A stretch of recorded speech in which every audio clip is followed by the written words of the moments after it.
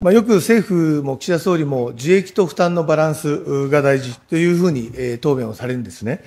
明白な負担増に対して、受益の部分の説明がいつもないんです。物価高騰も続いており、国民負担率を下げるためには、少なくとも消費税の減税をすぐにでも行うべきではないでしょうか。全世代型の社会保障制度に対応するために、これをまあ減税するという考えはないということであります。まあ、平成元年と令和元年比べたときに、まあ、税収は5兆円ぐらいしか伸びてないんですね。それに比べて、えー、15兆消費税は伸びてる。所得税は2兆下がってる。法人税8兆も下がってるんですね。法人税と所得税合わせると10兆ぐらい。だから社会保障費のために与えられてるっていうのは、まあもう奇弁なんですよね。消費税減税、ガソリン税ゼロ、季節ごとの国民給付、杉大臣、どれか一つでもやろうという気にならないでしょうか？あの、そういうようなあのことを今、岸田政権においてですね、考えているということはございません。次に、田谷良君。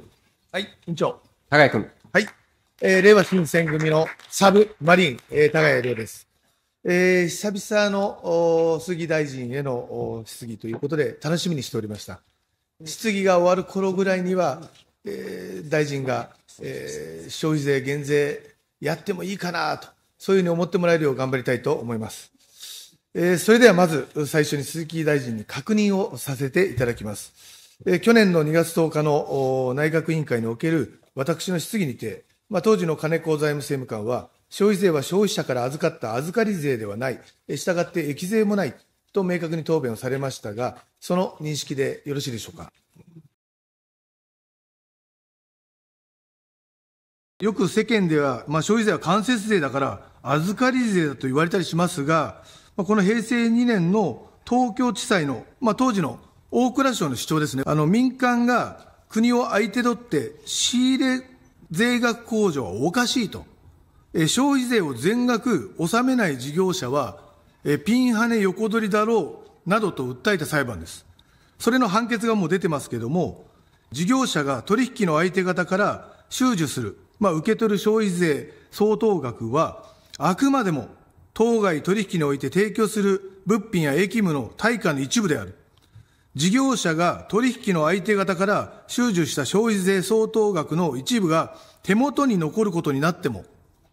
税額の一部を横取りすることにはならないとあります。要するに、ピンハネではない、すなわち益税、預かり税ではないと言ってます。また消費税は売上金の一部であり、預かり金ではないということになります。そこで政務官にお伺いします。消費税は、この旧大蔵省が主張した通り、預かり税じゃないですか？それでよろしいですか？金子財務大臣政務官。はい、えー、ありがとうございます。あの、多くの皆様方に誤解を与える答弁を過去ずっとされさせていただいているのかもしれませんが、預かり金的預かり金的な性格で、えー、ありまして、えー、預かり税ではありません。というような答弁を過去、ずっと財務省はさせていただいております。はい。あ、じゃあ、預かり税でないということでよろしいですね？よろしいですか？はい。はい。金子政務官。その認識で結構でございます。青木主税局長。大臣。大臣答弁。お答えします。あの、免税事業者でございましても、仕入れにかかる消費税を負担しておりまして、仕入れにかかる消費税を価格に上乗せすること自体は適正な転嫁であるというふうに承知しています。その上で、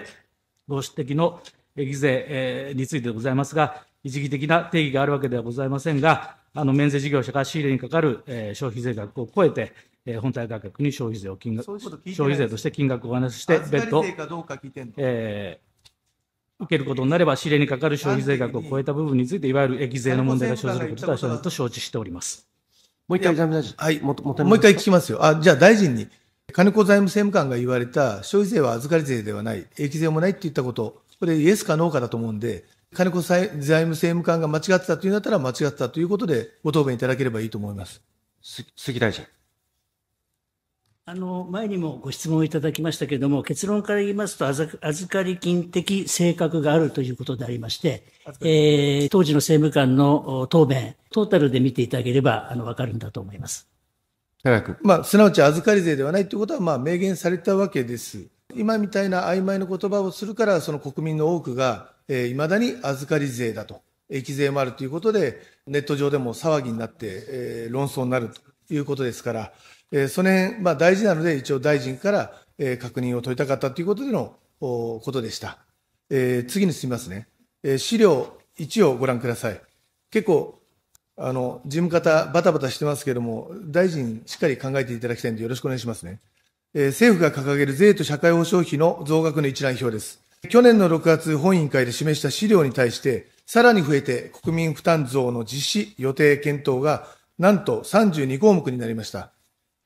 岸田総理はよく増税メガネと揶揄されてますが、そう言われるゆえんじゃないでしょうか。あまりに多くないですか、鈴木大臣。どうまででしょうか。所感をお聞かせください。あの、いずれにしても、今抱えている社会課題をはじめとするものを解決しなければいけないと、先送りできないと。そのために様々な政策を打っていくわけ、わわけでありまして、その上で必要なものが、あここに掲げられているんだと思います。いちいち私もチェックしておりませんので、わかりませんけれども、そう思います。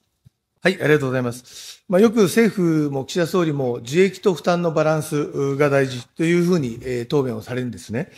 明白な負担増に対して、受益の部分の説明がいつもないんです。私から言わせると、その受益こそがバランスを書いていて、まあ、引きすぎると思うんですよね。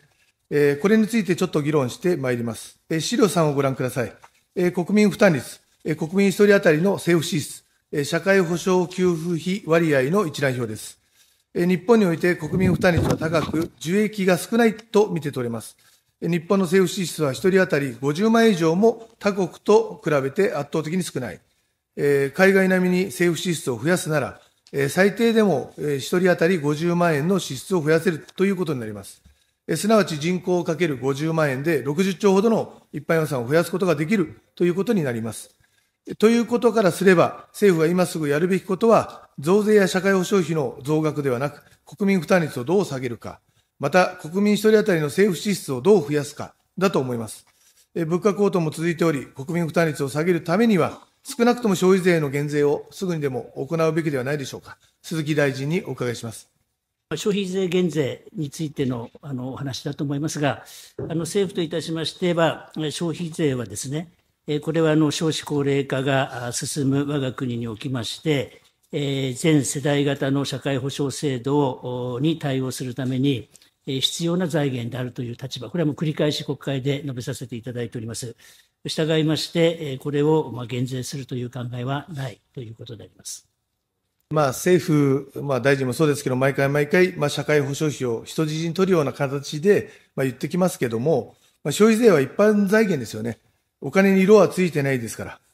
まあ、では、まあ、消費税の税収は一体、えーどれくらい社会保障費に当てられているんでしょうか。えー大臣でも事務方でも結構です。お答えいただければと思います。お答えします。あの、国税のあの消費税の税収は、え今年度の、え予算額で23.8兆円でございますが、えこちらにつきましては、あの、法律に基づきまして、全額社会保障4経費に充当することになっております。財務省の一般会計歳入歳出決算、えーまあ、これの税収を見るとですね、まあ、平成元年と令和元年比べたときに、まあ、税収は5兆円ぐらいしか伸びてないんですね。それに比べて、えー15兆消費税は伸びてる。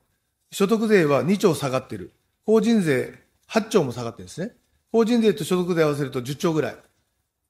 だから社会保障費のために与えられてるっていうのは、まあもう詭弁なんですよね。まあ社会保障費をあんまり人質に取るようなロジックっていうのはもうやめた方がいいんじゃないかなと思います。で、具体的に、えーっと、言いますと、まあ、安倍総理の2019年1月28日の施政方針演説で、消費税8%への引き上げ時の反省の上に、経済運営に万全を期してまいります。増税分の5分の4を借金返しに充てていた。消費税の使い道を見直し、2兆円規模を教育費無償化などに振り向け、子育て世代に還元します。とありますが、この発言は私、正しいと思うんですけれども、まあ、実際にどうなったんでしょうか。安倍総理の言われたことは、実際に行われているのかどうか。その後、いろいろ変遷がございまして、消費税につきましては、社会保障制度を支える重要な財源として、年金、医療、介護、少子化対策の社会保障4経費に充てることとされております。そして、消費税を5%から8%に引き上げた際、今、あ高谷先生がご指摘のある、あの、安倍総理の司法、施政方針演説で述べられた時でありますが、そのうちのですね、5分の1を社会保障の充実に充て、5分の4を活用して、基礎年金国庫負担割合の引き上げなど、社会保障の安定化に充てることとしていました。その後に、え消費税率を8%から10%へ引き上げた際に、2%分の増収分については、幼児教育の無償化や待機児童解消など、子育て世代への投資や社会保障の充実と、それから社会保障の安定化に、おおむね半分ずつ、えー充てることとしたところであります。でその上で、えー令和6年度予算におきましては、5%から10%への消費税率引き上げに伴う増収分について、そのうち4兆円程度を社会保障の充実に充て、残りの10兆円強を社会保障にかかる安定財源として、えー活用を、令和6年度予算においては、そのように活用をしているところであります。まあ、様々、今、大臣述べられましたけれども、まあ、基本的にさっきの平成元年と令和元年の比較を見て、まあ、予算の使い方を見れば、えーどういうふうに税収が減っているか、増えているか、そういったことを見れば、社会保障のためっていう、社会保障費のためっていうのは、ちょっと古いやり方なんじゃないかなと思いますので、改めていただければなと思います。えっと、資料4をご覧ください。え政府の答弁では、消費税の減税などは時間がかかるからなかなかできない、えーということですが、なぜ時間がかかるんでしょう？諸外国では、えーコロナ禍で消費税の引き下げなどを、イギリスは7日、えードイツは28日、アイルランド23日、マレーシア16日、えーどの国も極めて短期間で消費税の減税を行っています。なぜ日本だけが時間がかかるのか、大臣、どう思われるでしょうか？答え申し上げます。えー諸外国の制度につきまして、まあ、詳細にあの承知しているわけではございませんが、例えばあの過去に税率を引き下げましたドイツやイギリスにおきましては、付加価値税率の変更の際、総額表示義務のもと、え価格設定や価格変更のタイミングを事業者が比較的柔軟に判断していると承知しております。え消費者への転嫁については、日本ほど厳格な取り扱いをしていないのではないかというふうに考えております。一方、あの日本におきましては、消費税の最終的な負担を消費者に転嫁するとの考え方のもとで、これまで税率の引き上げにあたっては、公共料金などを含め、広く適正に転嫁を行ってきたところでございまして、仮に税率を引き下げる場合には、価格変更に対応するため、事業者は値札の、え付け替えやシステム改修等の、え相応の準備が必要でございまして、ドイツや、えイギリスとは状況が大きく異なるものと考えております。いや、それ、世界だってやっぱり値札の張り替えとかそういうのっていうのは、システムっていうのも、やはり変更必要でしょうから、日本とそんな変わらないと思いますよ。よく言ってること分かりませんけども、まあ、ここ大事なんですが、消費税についてよく言われるのが、イギリスの消費税20%と比較して日本は10%だから上げる余地がある、なんてよく言われますけども、まさに昨日著名な官僚だった計算、経済評論家が 15%, 15にしなきゃいけない、とんでもない記事が上がってました。でたらめもいいところだと思うんですよね。全然そんなことにはなってないと思います。えー資料2をご覧ください。えー消費税の実質負担率、えー税収割る国民所得で割合を出しています。えー実質消費税負担率は日本は6.6%、イギリスも6.6%、オーストラリアは同じ10%税率ですが、3.1%の実質負担率です。えーなぜこうなるかというと、食料品などの生活必需品がゼロ税率だからです。まあ、これを見ると、すでにイギリスの20%税率に日本の税率が匹敵している、そういうことになります。経済成長をずっと続けてきた他国と比べて、日本は数十年デフレを続けてきています。国民の厳しい現状、このデータを見ても、消費税減税、ガソリン税ゼロ、季節ごとの国民給付、杉大臣、どれか一つでもやろうという気にならないでしょうか？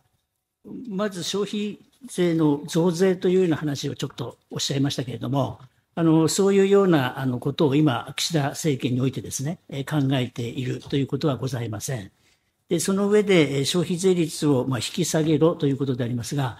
一つといたしましては、やはり社会保障制度の財源として必要であるということ、それと我が国の厳しい財政状況を考えますと、やはり消費税からの税収というもの、これも必要であるということ等々があるんだと思います。高木君。はい、ありがとうございます。えーまとめます。えー今、国民は困ってます。えー中間所得層も減り、えー生活が苦しい人が増え、えー格差が広がっている現状において、減税、社会保障費の減額により、国民負担率を下げ、給付などにより可処分所得を増やし、お金を回し、経済を大きくしていくことが大事だと思います。えーそれには疲弊している国民から税という形でお金を巻き上げるのではなく、消費税を下げ、国民生活をまずは楽にする。儲かっている資本からいただく。あるところから取り、ないところから取るな。大納負担。税の大原則です。えー私たち、令和新選組は消費税廃止、もしくはゼロが一丁目一番地。まずは消費税減税を核に、トリクルアップ積極財政で、えー経済成長を図るべき。その先頭に令和新選組が立つ。そう申し上げまして、質問を終わります。ありがとうございます。